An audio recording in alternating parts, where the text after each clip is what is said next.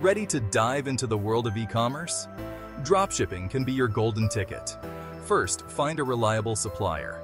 Websites like AliExpress, Oberlo, and Spocket are great places to start. Just sign up, browse products, and choose your niche. Next, set up your online store. Shopify and WooCommerce are user-friendly platforms perfect for beginners. Customize your store, add the products from your supplier, and set your prices. Then, it's all about marketing. Use social media, email campaigns, and SEO to attract customers to your site. Facebook ads and Google ads can also boost your reach.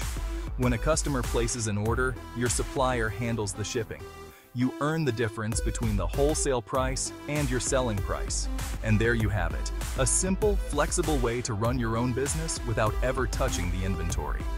If you found this helpful, hit that subscribe button and stay tuned for more tips on acing the e-commerce game.